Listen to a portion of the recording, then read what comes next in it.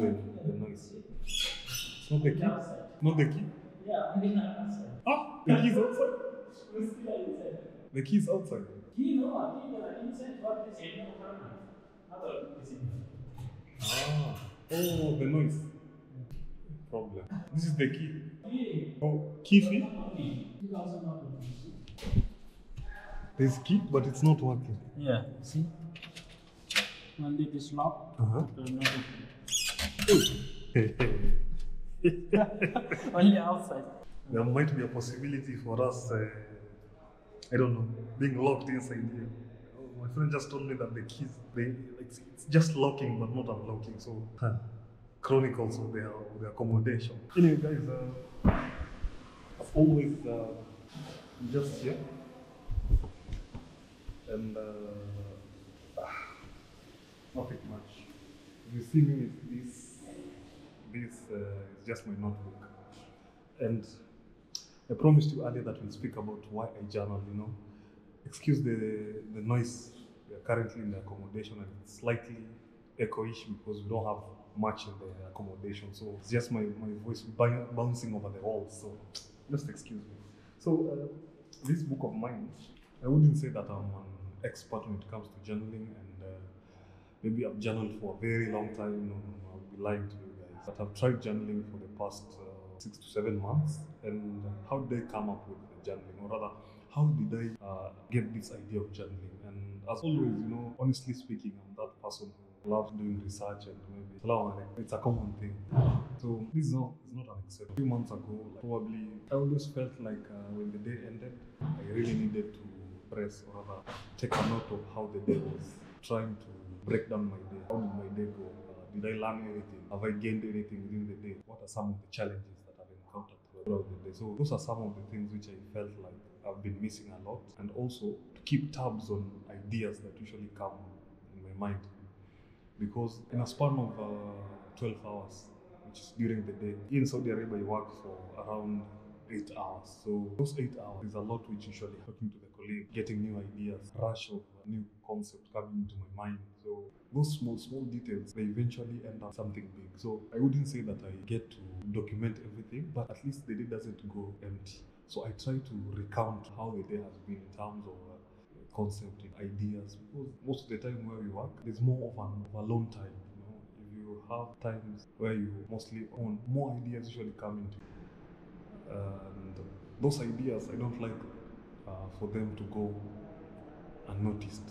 I love documenting such days, uh, such moments within the course of the day. Maybe on my phone, document a little, but at the end of the day, I love trying to remember some ideas. So to me, honestly, it has really helped me, and I would actually say, if, I mean, if you feel like you'd want to document a day and that's how basically I started. I started by maybe sharing one day, writing down, hey, I woke up at this time, I did this, what are some of the challenges I encountered throughout the day, was this, this and that. And at the end of the day I discovered that okay, after maybe a week I go back to my my book, I just check it out. After checking it out, I eventually end up, you see, these are the pages. Quite a few, these are probably six months. Uh, so honestly, I really feel awesome. I, it has always been my to-go thing after work.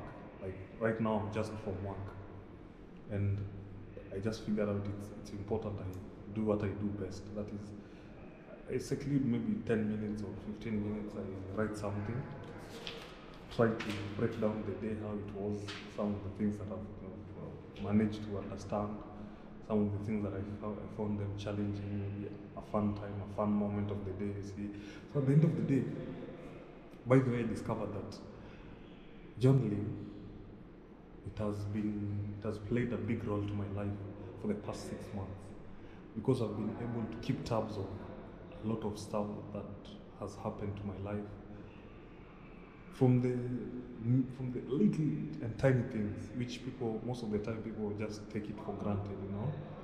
So to me it has always helped me and i look forward to it. And if i miss one day actually it has already become a habit. And by the way, you guys should read Atomic Habits by James Clear. And these are some of the things mostly I've tried to incorporate into my life in terms of uh, making the day productive. Small habits. So it just started slowly, slowly, slowly, and I always felt like after journaling, my day is almost complete. So right after work, I love journaling and just trying to get a breakdown of the day and just see how it goes. So it's nothing much, but something definitely that I would request you guys if you get time, then it's quite important you you try and check it out. Just get a book, a pen. I know, by the way, I know you guys people are used currently to having Notions on their phone, that application for for planning and all that, uh, having notebooks on the phone. So the beauty of journaling using your pen and and, and, uh, and a book is and that reminds me of something. There's a friend of mine, a Ghanaian friend of mine, who they recommended me that uh, this book they call it the jotter.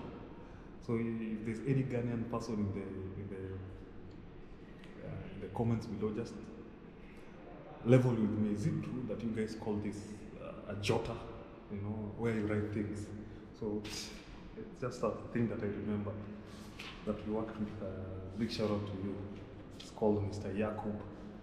Uh, created memories. So basically, that's that's the beauty of writing. You write by your pen, it takes you back for a while, and more ideas come because you, get a feeling of those days that I used to write, those days that I have managed to pass through, like in high school, primary school, uh, universities, or gone to universities and colleges as well.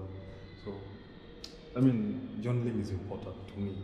So you should try out actually. So let me write something and then after that uh, we see how the day will go. So let's see. Uh-huh.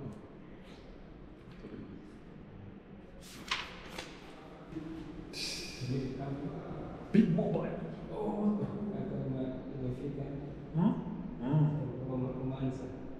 Hmm? Hmm. Eh, nikaandika tu vitu hapa kidogo and then we see how it goes. Ndio umeingia pia.